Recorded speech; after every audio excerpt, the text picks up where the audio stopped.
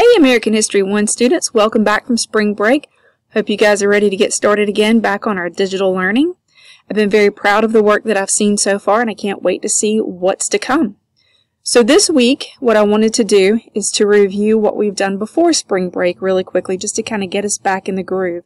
I want to do two assignments to review the market revolution through the Mexican-American War. And then I have two assignments for you to do on the early causes of the Civil War. So I wanted to start here on our home page to show you what I expect of you guys this week um, for our digital learning.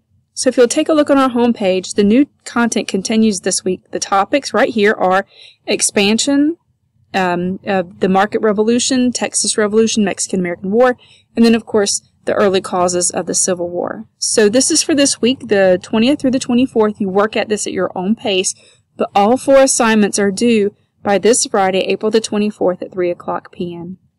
Have a checklist for you and let me show you that. So I hope these checklists for the week are helpful. It gives you an idea about what you're supposed to do and is this something that you have to do or submit to be graded. So if you'll take a look, there are um, a few assignments here. Let me scroll back up. It says there are four assignments, there we go, that need to be completed specifically. Um, all tasks should take about two hours, maybe a little more, a little less, depending on how quickly you're working. You do not need to submit this checklist to me. It's just here for you to keep you organized. Uh, give me some feedback if this is working for you. If people don't really like this, I'll stop doing it. But the first thing to do is to watch this video that you're watching right now so you can check that off. It's not graded, just to give you a little bit of heads up about what's expected for the week. Um, did you join Remind for Honors American 1? Because that's pretty important. Um, I'll be sending out a few uh, things every now and again through Remind. Also, we have an optional weekly discussion post. You can put what you've been up to on there. You can just say hi. There's no specific uh, questions, but if you do have general questions about classes or about grades, for example, you are welcome to ask them there. And then let's talk about the assignments. The first one, number four here, the first assignment actually is going to be about a 10 minute video, a 10 minute read article, and four questions to submit in Canvas. It's a review of the market revolution and the Mexican-American War content that we did before spring break. So you'll go to that, and that page is here, this first assignment on the video article and questions. You'll click on that. And so this is what it looks like to watch the video. The notes for the video are included. There's two pages for the articles. Again, they are JPEGs. If you can't access those, let me know and I'll try to turn them into PDFs. Um, but with my scanner, uh, it came up as a JPEG, so I thought I'd try that. And then there are four questions to answer in a text box. You can copy and paste those questions in a text box and answer them, or just number them 1, 2, 3, and 4, and then click Submit, and then you're done with the first assignment. Should take you somewhere around 30 minutes or so to do. So that's going to be our first assignment. You'll see that here on our list. This is back at our home page. So the first assignment was to watch that video, read the article, and answer the questions. And then the next assignment is going to be to do some review questions for the Market Revolution, Manifest Destiny, Texas Revolution, and the Mexican-American War. Now let me show you that, but don't panic. When you click on this assignment, it'll take you to this page, which is actually a quiz.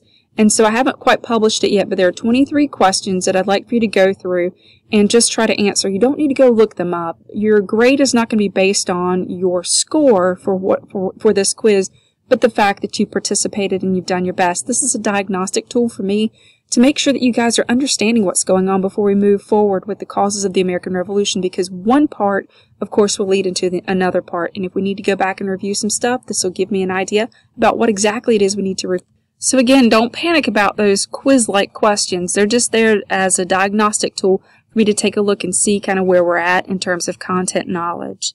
And then what I'd like for you guys to do, moving on down to task number six.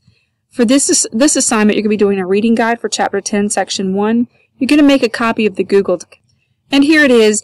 Um, it was a, a, bit of a problem, a challenge for me last week. I was trying to get you guys to force you guys to make a copy um, or the week before spring break.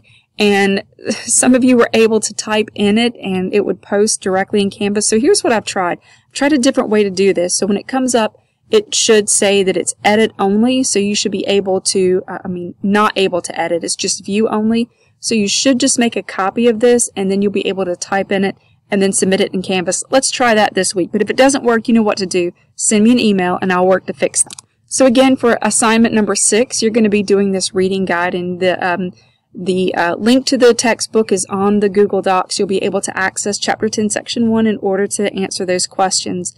Again, all assignments are due by Friday, April the 24th at 3 o'clock p.m.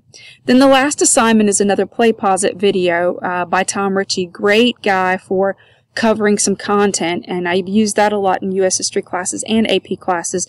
And so he's going to cover the Compromise of 1850. And so let me take a take you to the assignment page. And so this is the assignment page for the Compromise of 1850 video and questions. And so you're going to click on the link and it will take you directly to, if you've already uh, set up a, an account with us, this particular lesson here on the Compromise of 1850. So once you go through that, that'll take you about 20 minutes. It's about a 15 minute video, so pausing to answer the questions. There's not very many there. Just to review one more time the Compromise of 1850 that we've covered in the re reading guide here in Chapter 10, Section 1. For this Compromise of 1850 video, you will not submit anything into Canvas, and again, don't worry about the grade that you score. What I'm looking for is your participation in the PlayPosit video and answering the questions to the best of your ability.